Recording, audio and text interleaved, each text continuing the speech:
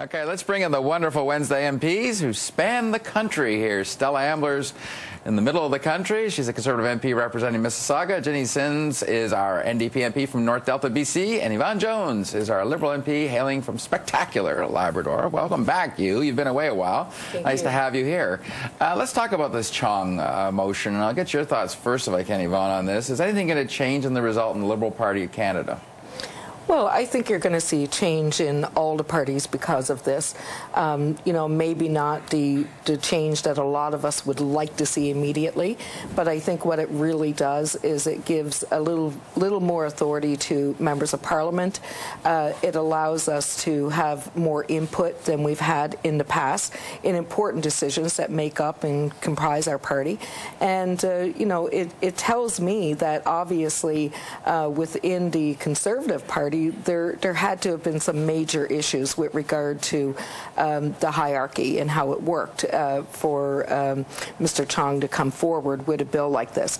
But I think it's, it's a small step towards election reform and one that all parliamentarians are going to be looking to see how it's going to advance in, itself over the next, uh, next little while. So if Justin Trudeau blows the election and Harper gets another majority, the first decision could be vote him out of the leader's office.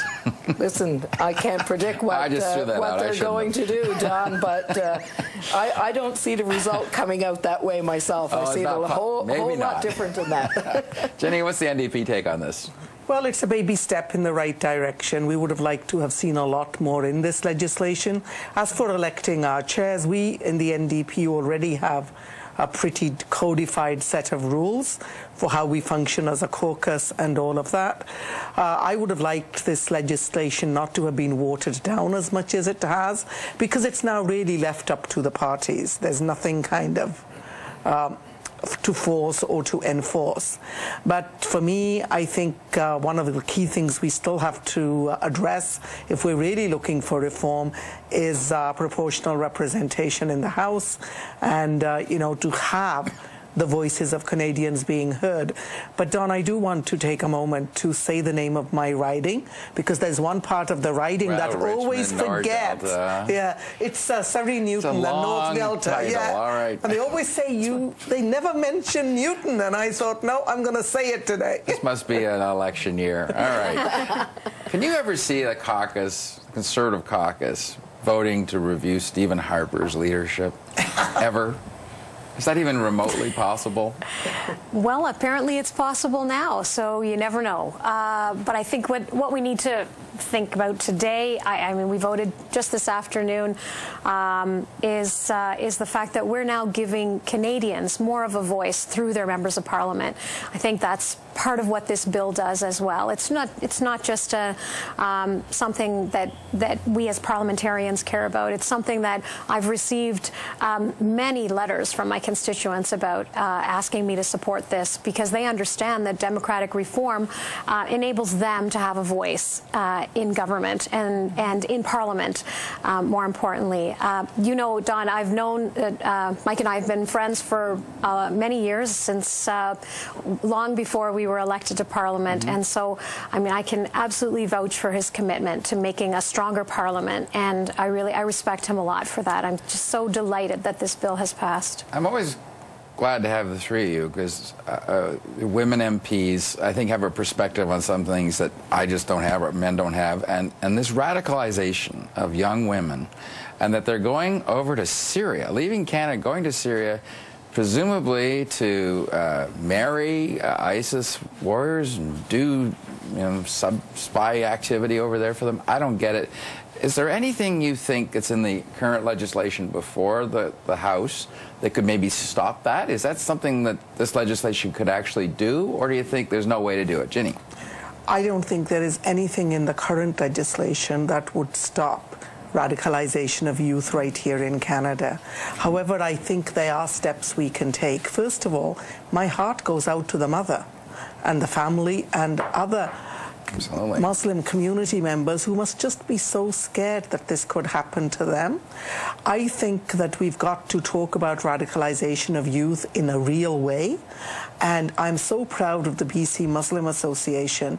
They have been doing some amazing work in BC on addressing radicalization of youth. And I think one of the things the federal government could do, because they've asked the federal government for support, mm-hmm. is to provide them the support to do this. Right now, CBS, RCMP, myself through my office, and um, the local uh, BCMA, uh, we've had a series of workshops uh, in Surrey, in Vancouver, in Burnaby, and in which you know, we've had packed rooms when people come together to talk about these issues, and you get parents who've got young children who were born here, these parents were born here, and they're saying, This is not the future I want for my children. Mm-hmm. We need help.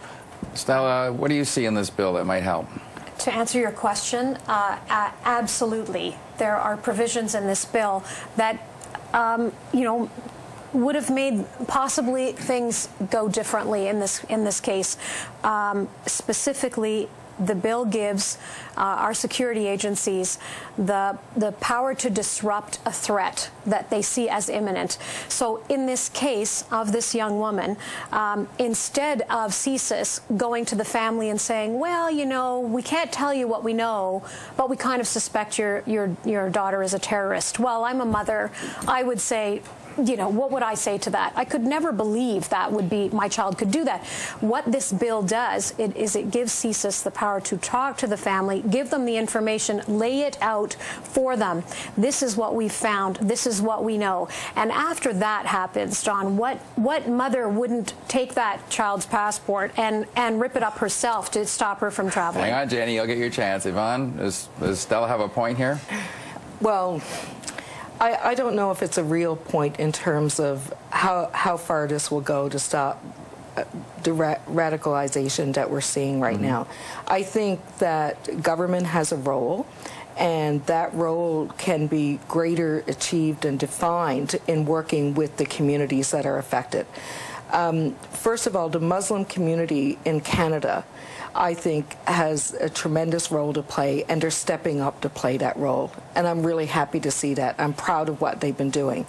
And I think that first of all, they can lead the way for a lot of the rest of us in Canada and in how we deal with our communities and how we deal with people who we think might be affected. From a government's perspective, giving CSIS the authority to reach out to families is going to be one small part of it. Families need a way to reach back as well. Mm-hmm. Uh, young people that are being impacted need a way to reach back. And I think that's the avenue that we haven't really addressed yet. We haven't really opened that line of transparency Jeez. and dialogue for those Jinny, that need it. Jinny's itching to get in here. You know, I've worked with young people all my life.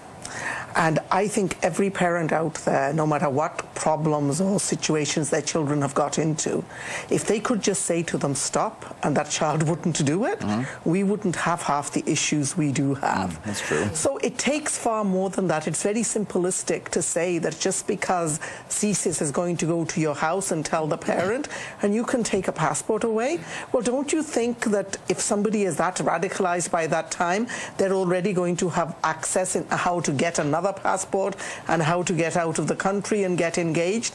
For me, I think prevention starts a lot before that. It starts with the very young, starting to educate them about what the religion means. And this is where the Muslim community, I've seen them play this part in my community and I'm so proud of them.